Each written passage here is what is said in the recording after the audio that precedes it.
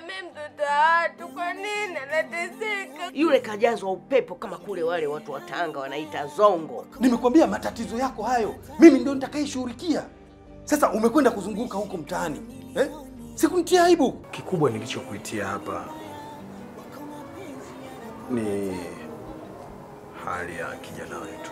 Nakwambia tunaenda kukaa kikao na familia nzima, nakwambia tutakachokufanyia wewe, tutakachokufanyia wewe baba, wewe hautasahau maishani mwako. Ni mimi cha mlima.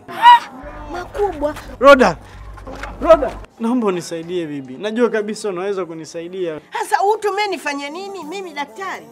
lakini angalia hali yangu ilivyo. Mi sijui, Senga unakosha koo utajuaje? Chenga leo saa tatu kamili usiku hapa Plus TV.